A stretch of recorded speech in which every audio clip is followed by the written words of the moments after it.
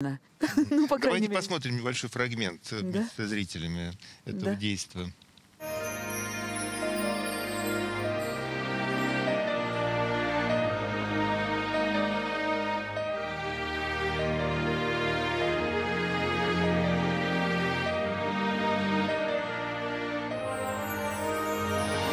Сегодня очень красивая дата, такая необычная. 23 августа 2023 года. Но мало того, что эти цифры так рядышком и похожи друг на друга, между ними еще есть восьмерка. И пусть эта восьмерка будет знаком бесконечности вашей любви.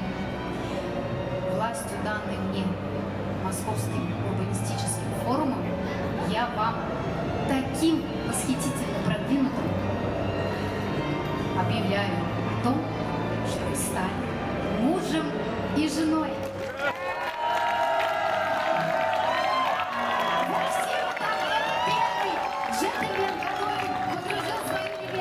Там А почему, собственно, э, вам предложили э, поучаствовать в таком мероприятии? У вас есть идея? Ну, помимо того, что вы э, красивая э, Спасибо, очень актриса, приятно. это- Мне кажется, что подобное притягивает подобное. так. Все мы живем с некоторыми магнитами внутри. мгм. И мы притягиваем в жизни обстоятельства и людей, которые соответствуют нашему душевному запросу. И для меня очень важна семейственность. Я очень люблю принимать участие в фильмах, которые касаются семейной тематики. А, Меня завораживает все, что связано со свадьбами, э, родами, крестинами. Это же так прекрасно. Это традиции, это а, гимн жизни, гимн любви. И, конечно, когда мне предложили поучаствовать в таком мероприятии, я побежала. сомневались, да? Я сказала, конечно, да. Еще и в такую Я читал, что вам ведь ваш супруг э, сделал предложение в э, на таком... поклонах после премьеры, после да, моей это премьеры. прямо на, на сцене. Да, да.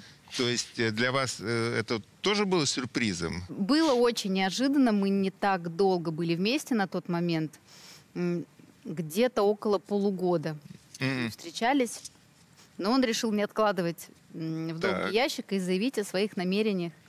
Как он потом признавался, понимая, что, возможно, я еще не готова, А, то есть но он это решил был. заранее Так. а, забронировать, Конечно. а, обозначить намерение, и он в очень, я бы сказала, корректной формулировке делал предложение, потому что он не спрашивал у меня, согласна ли я. Он просто встал на одно колено, преподнес кольцо, а, сказал, чего бы ему хотелось, Так. что ему хотелось бы вместе То есть не идти загонял по вас, жизни. да, в угол? Да, и в итоге я испытывала терпение мужа два года. Два года? Только, только после того, как мы прошли горнило пандемии, А, мы А, да. поняли, было. что мы уже отчаянно хотим пожениться. Но он был в каком-то сговоре с вашими коллегами? Не мог же он просто... С режиссером, постановщиком спектакля Сергеем да. Алдониным он, конечно, был в сговоре.